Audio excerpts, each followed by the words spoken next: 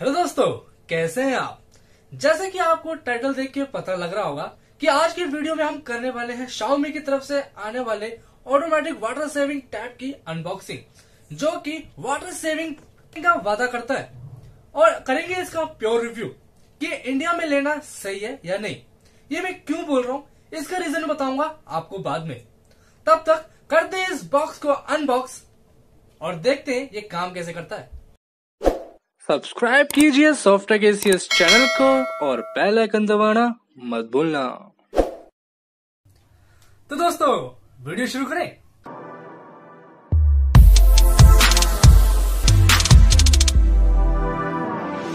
दोस्तों इस बॉक्स में सब चाइनीज़ लैंग्वेज में लिखा हुआ है जो हमें तो कुछ समझ नहीं आ रहा। थोड़ा बहुत पिक्चर देखने से पता चल पा रहा है कि इसे कैसे इंस्टॉल करना है।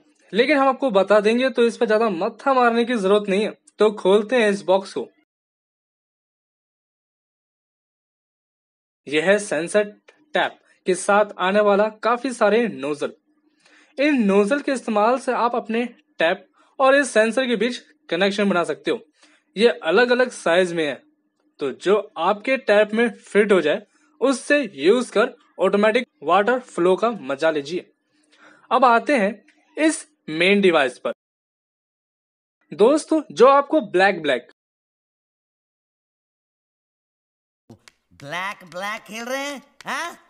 हाँ दोस्तों जो ब्लैक कलर में रेक्टेंगल दिख रहा है ये आपके सेंसर है जिसके पास हाथ लाने से ये सेंस डिटेक्ट करके नोजल को ओपन कर देता है और वाटर फ्लो होने लगता है। यह हमेशा ऑन रहता है जैसे कि अभी भी ये डिवाइस ऑन है। जैसे ही इसके सेंसर के पास मेरा हाथ जाता है तो इसमें से कट कट की आवाज़ आ रही है।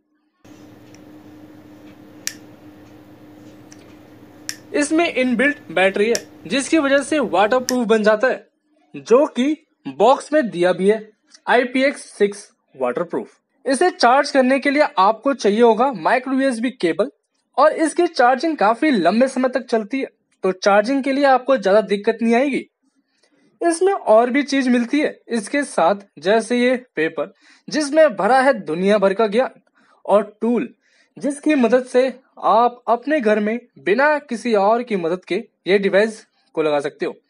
और आपको कुछ रिंग्स मिलते हैं, जिसको आपने इन नोजल के ऊपर लगाना है, ताकि इस डिवाइस में मिट्टी वगैरह ना जा पाए। अब बताता हूँ इन सबको यूज़ कैसे करना है? आपको नोजल के इस हिस्से को ऊपर अपने टैप से कनेक्ट कर लेना है। फिर सिंपल इसे जोड़ दीजिए। बस इतना आसानी से कनेक्ट हो जाता है और बस इसके नीचे या राइट साइड पर हाथ लाइए और पानी का सही से इस्तेमाल कीजिए। और कभी निकालना पड़े तो इस टूल की मदद से इस ऊपर वाले पोर्शन को नीचे की तरफ़ पुश कीजिए और ये आराम से अलग हो जाएगा।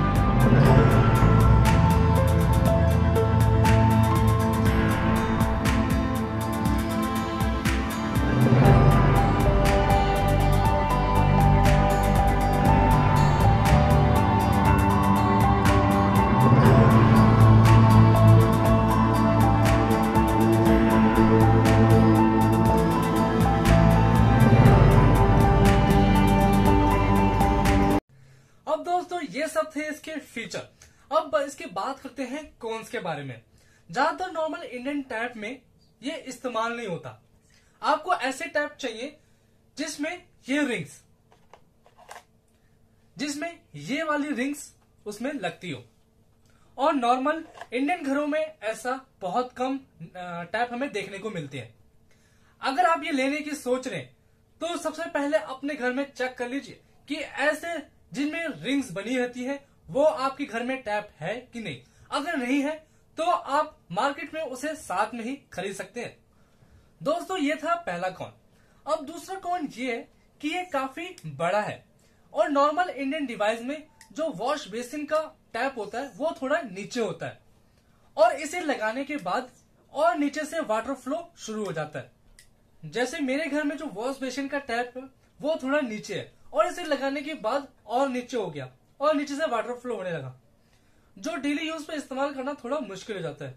जिससे जो हम लोग चाहते थे कि वॉश बेसिन पे कोई जाए तो प्रीमियम फील हो तो वो नहीं हो पाता। इसलिए इसका सोल्यूशन ये हो सकता है कि वो टैप लगाया जाए जो थोड़ा ऊँचा हो, उसके बाद इसको लगाया जाए, जिससे प्रीमियम भी फील हो और इजीली हम डेली यूज़ पे भी इस्तेमाल कर सके।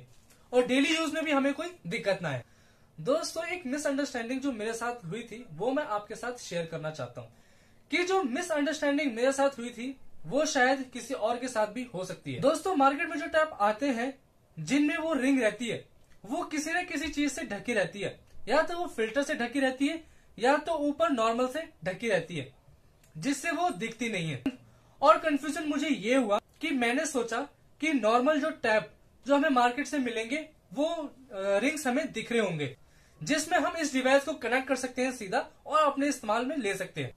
और दोस्तों, इसी के चलते मैं अपने दोस्तों के घर गया कि उनके घर पे वैसे टैप हो जो मैं इस डिवाइस को यूज़ कर सकूँ।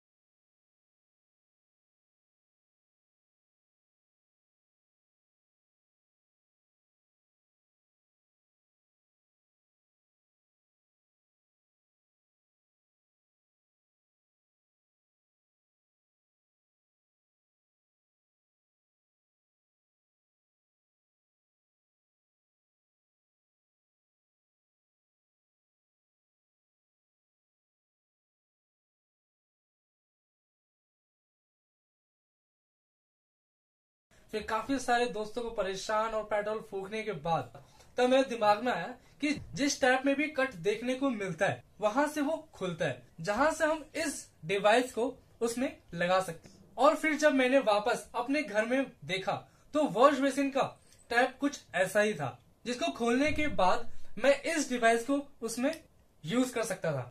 और अपने दोस्त के घर जिस टैप में मैं इस डिवाइस को लगा रहा था, उसमें भी ये लग जाता। अगर उसके नीचे वाले पोर्शन को मैं निकाल देता। तो इन शॉर्ट उस ढक्कन ने हमें ढक्कन बना दिया। खैर, आपको हमने इस बारे में बता दिया। तो अगर आपके पास भी ऐसा कोई टैप है तो उसका ढक्कन हटाकर आप इसे यूज़ कर सकते हैं। तो दोस्तों, हमने इस डिवाइस को लेकर अपनी ओपिनियंस दे दिए। हमने इसमें कुछ कमाल के फीचर बताए और कुछ नुकसान। तो आपको अगर ये डिवाइस अच्छा लगा हो तो नीचे डिस्क्रिप्शन में लिंक दिया है, वहाँ से आप ले सकते हैं। बाकी दोस्तों, आज के लिए इतना ही। अगली वीडियो में फिर मुलाकात होगी। तब तक के लिए अपना ख्याल रखेगा, दुआओं में याद रखेगा।